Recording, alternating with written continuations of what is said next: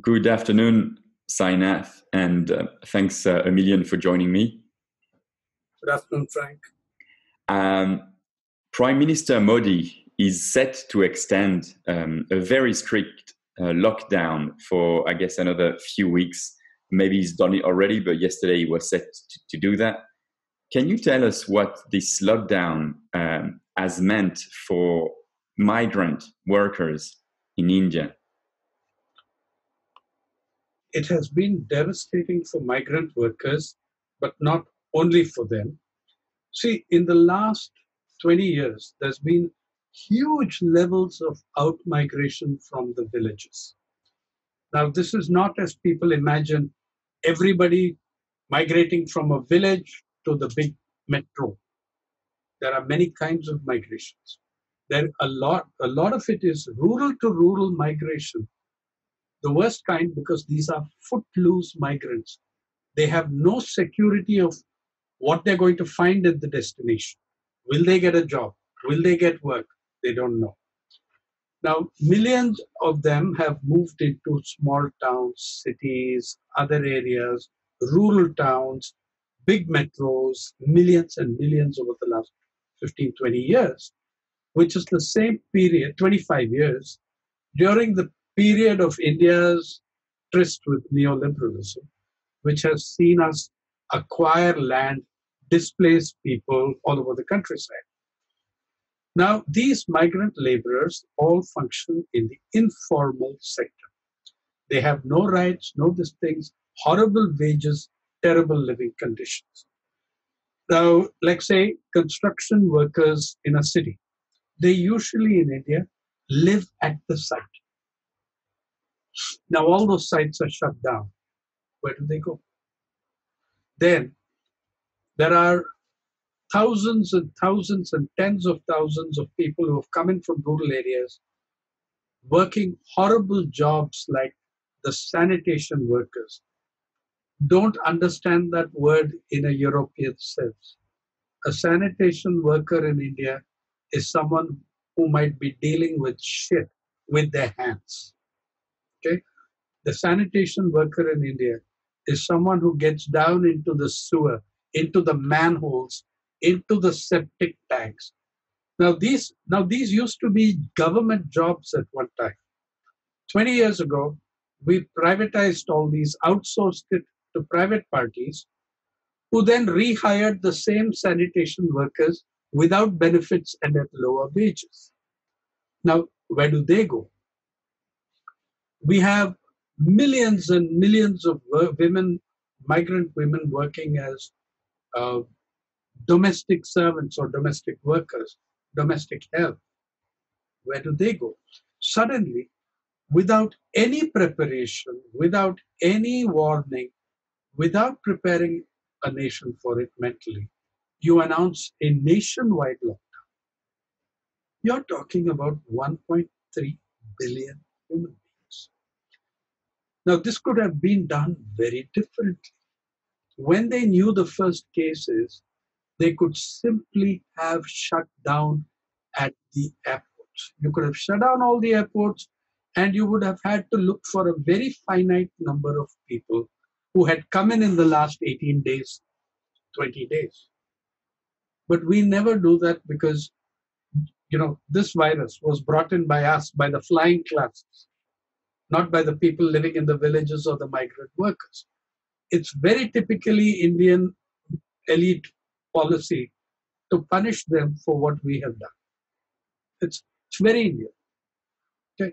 So now you have these migrant workers panic okay and then their buildings their construction sites are telling them okay you're out get out of here now housing societies middle class housing societies are where hundreds of thousands of these people work as security guards as menial laborers as cleaners suddenly and all the domestic servants and women workers suddenly these societies these buildings are walling up and telling them don't come now, so people, where are they going to eat? There's no wages, no work, no food. Announcements are made. Mr. Modi makes frequent announcements about how what he's going to do for people. Unfortunately, you can't eat TV announcements.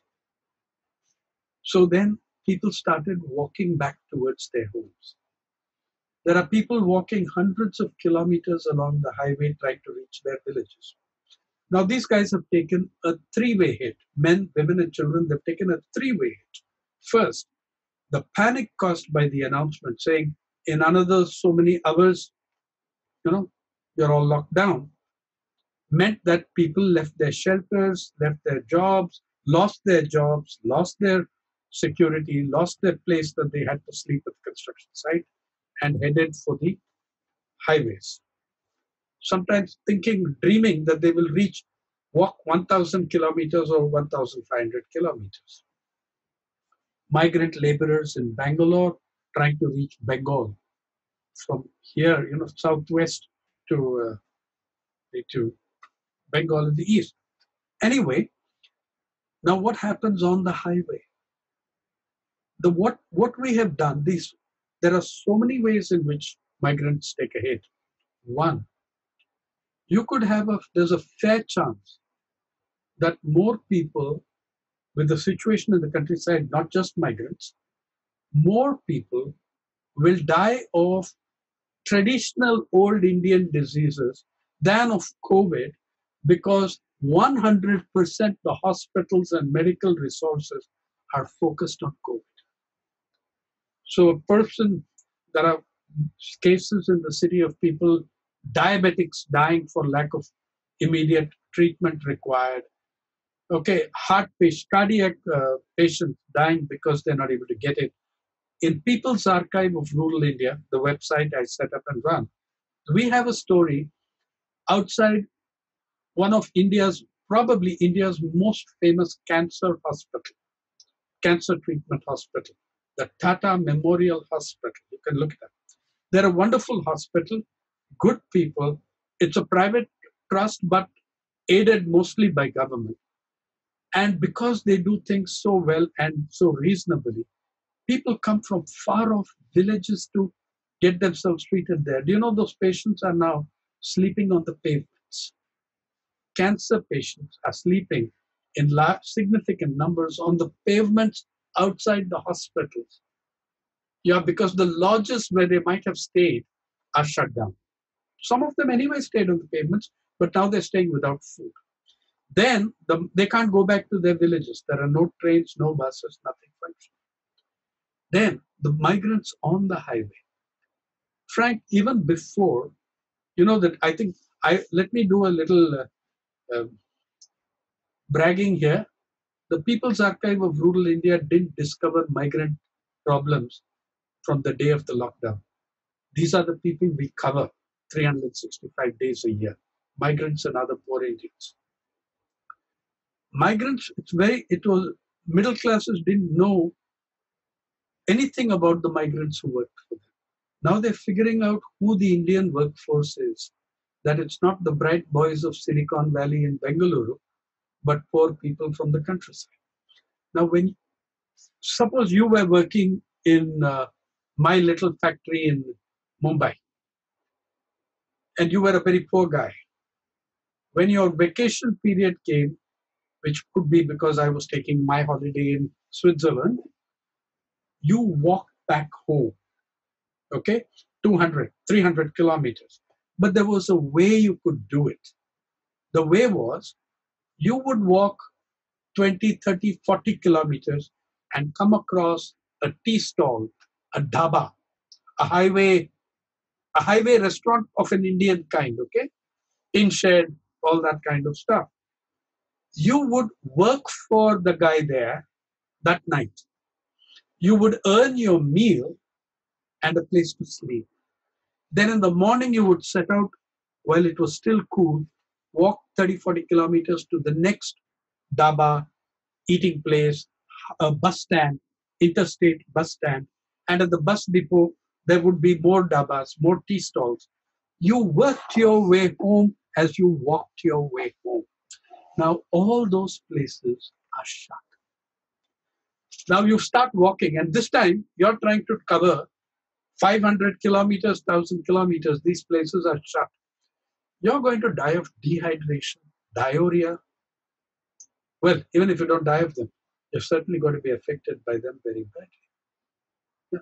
So this that's one huge set of ways in which they hit. Second, after realizing the damage they'd done without admitting it, the same government gave orders to state governments to stop these people at the borders and not go back.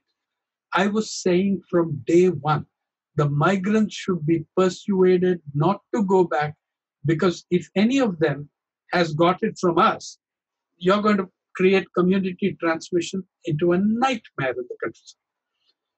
I said that all the schools and colleges and hostels and marriage halls that are now empty and shut should be declared as shelters for migrants and homeless.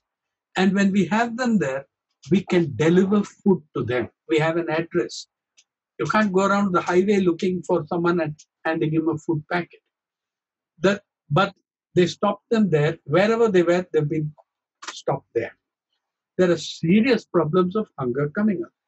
Third, when they have been allowed to go back to their home villages, guess what? Many of the villages, the panic created around this, many of the villages have put up barricades. You can see stories on that. Not allowing, say you are wanting to go to your village through my village. I don't allow you passage. If you are from my village, I still make your entry difficult because I don't know. I mean, I don't want my kids to get into trouble. So, you know, you we, everybody is interpreting quarantine rules its own way. Politically, it means that every local two paisa tin pot is calling the shots, making rules. Authoritarian power is being exercised by anyone in any position of power, interpretations of quarantine, whatever. So they're taking a third hit when they reach home. And everybody in the countryside, that's another, but this was migrants. There's every other section is badly hurt, farmers, everybody. Yes, when I when I heard about the lockdown that Modi was uh, putting in place, um, you know, if you ask people to social distance themselves in Brussels, uh, it's one thing. Then ask them for social distancing in uh, an India. Uh, you know, I've been to India, one of the slums of India, or a place as cramped as India, and where the health services are, are not up to scratch. Uh, how how how practical it, it is to actually implement this lockdown, and also it looks like it's only the beginning of the epidemic in India, right? Apparently, like the next few weeks could be very, like could be terrible. What do you think about that? We don't know anything about it because we have been testing so little. I have no faith in the numbers that we are looking at. We have tested very little compared to almost any other big country, right? So we don't know. Uh, we, we don't know what the real picture would be if we were testing big time. As I said, we had the opportunity to lock down at the airports, but that would be troubling the beautiful people. Now, uh, in the uh, sorry, your your before you asked me about this thing, your early the first part of your question was about uh, how how practical such a lockdown is is in India, a, place which is so basic. yeah. Firstly, I find that word social distancing extremely offensive. For millions of Indians, they have known social distancing for 2000 years. They just called it caste. Yeah? Where people were, where millions of people, uh, uh, 16% of your population were considered untouchables and still face that practice and discrimination. So social, I think the government, I think Kerala, where a left government exists, gave a beautiful alternative. They said, don't call it this. What you should be asking for is not social distancing. You should be asking for social unity and physical distancing. Now, in the slums of Mumbai, where you have been, or other parts of India, that's simply impossible. Okay, in Mumbai, in uh, you can have in one room tenements you can have eight to ten people stay. Okay, you can have eight to ten people stay. What distancing will you achieve?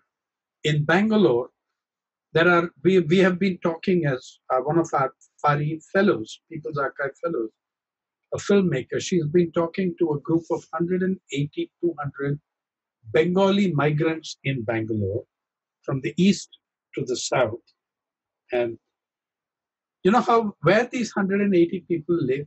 They live on the roofs of three buildings. They pay a rent for that and they live on the open roofs. Now the owners of those buildings ask them to leave the moment. So she's been negotiating and talking to them and persuaded, she and her friends have persuaded a couple of owners to hold on, saying that this is not a good idea. Now, just tell me, how are 180 people in three roofs of buildings? How much physical distancing or social distancing can they practice? Third, the professions. Now, we have a very recent story. There is a caste in India. For every occupation, there is a caste, right? And then tell me what happens to a caste that numbers millions, but is very tiny in each village, a caste of barbers, hairdressers. They are very low caste, they're very discriminated, very oppressed. Now, what physical distancing can you do in an occupation like that? Or what physical distancing can the hundreds of thousands of sex workers in the country practice? In the kind of conditions they live in and with their clients.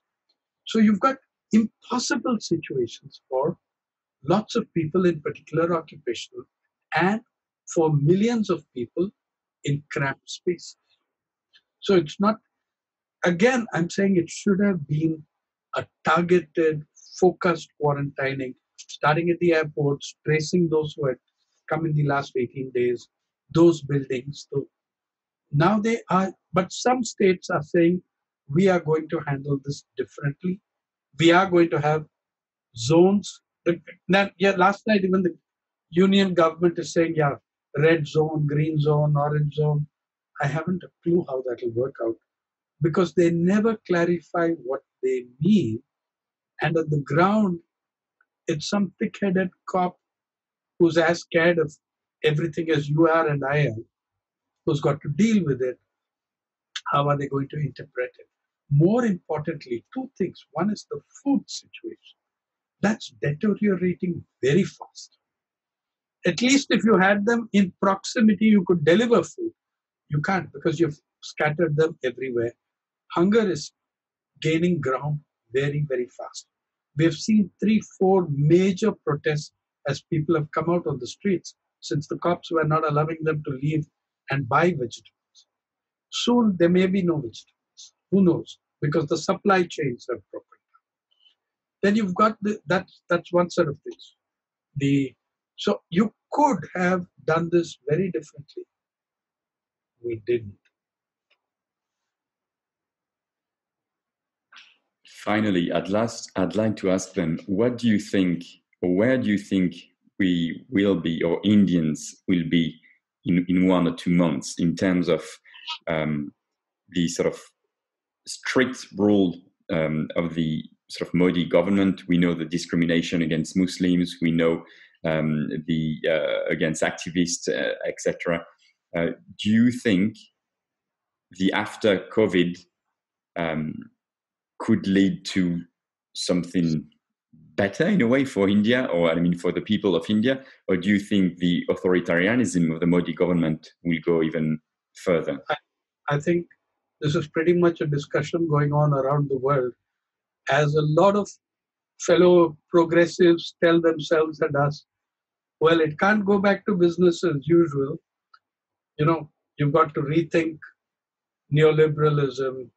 All this is true, and it's all what I would like to see. What I am seeing and what I do foresee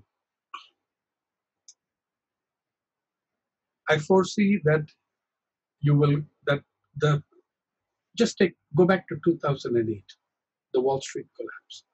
What happened after that? You had, by the way, you did have the Arab Spring was linked to the price of bread that went up tremendously. But you had the very people responsible for the tanking of the global economy getting trillions of dollars in bailouts and getting richer than they were before the collapse. And inequality, if you look at the Forbes list of billionaires, grows even more after 2008. Take India. In 1991, when we entered our brave new embrace of neoliberalism, India did not have a single dollar billionaire, not one. Or maybe somebody very modest was being quiet about it, but not one.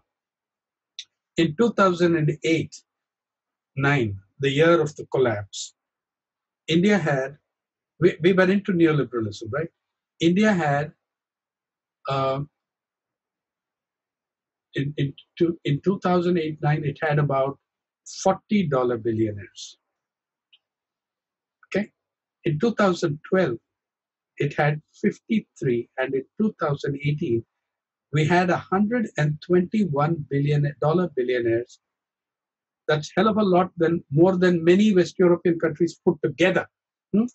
Um, that's more than more than twice all the Nordic countries put together. We had 121 dollar billionaires, but ours are more special than anyone else's. They account for 22.5. They account for 22 percent of India's GDP. The equivalent of their wealth is 22 percent a fifth, more than a fifth of India's, and close to a fourth of India's GDP. So that inequality actually trebled and quadrupled after 2008. Now, when you're coming out of this, millions of people jobless, and all that all that we've been doing on COVID in the establishment is playing Hindu Muslim politics targeting minorities. This is the game. This, this is what is going to happen. It's going to get more acute. There are gigantic uh, number WhatsApp offensives, and quite a lot of people who believe that some great Islamic conspiracy brought the uh, COVID, uh, the virus to India. A lot of people believe this shit. Okay, um, so you're going to see a move towards further authoritarianism, and not just in India, but everywhere in the world, because you are you live in the age of rapidly expanding mass surveillance, which now has a justification. It's for you, right? We're doing it to save your ass. And people are going to be more accepting of that. On the other hand, on the other hand, people are not going to be so accepting, I think, of the kind of devastation and depredations on their economic and financial status because they're going to lose massively. They're going to be broke. Or, you know, that uh, uh, we, you keep, I mean, whenever the West looks at India, they're looking at the IT sector and things like that in India. The IT is nowhere the biggest employer in this country agriculture is the biggest employer in this country. After agriculture, guess what? Handlooms and handicrafts are the biggest employers in this country. Okay? We're talking about millions and millions of people. All those have been smashed by the lockdown completely. It's not just migrant laborers. Farmers are sitting with their crop from the winter crop, the rabi season, is rotting on the fields. They can't get transportation or they are forced to sell at less than what they paid to produce it. Farm laborers are without work, they can't report anywhere for work. Hmm. All these sections are taking, I mean, it's not as if life was heaven before, but they are taking a terrible hit. So there will be repercussions, but the political outcome of those repercussions can, I suppose, depends on how much of a resistance builds up, but it could be very bad. I'm, you're looking at an age of fundamentalism and obscurantism. Let me tell you that India is run by an alliance. It's run by an alliance of socio religious fundamentalists on the one hand and economic market fundamentalists on the other. And a substantial number of these have one foot in both. And these alliance of religious fundamentalists and market fundamentalists, the bed they cohabit is what you and I call the corporate media. So yeah, someday it will get better, but it's going to get a lot worse before it gets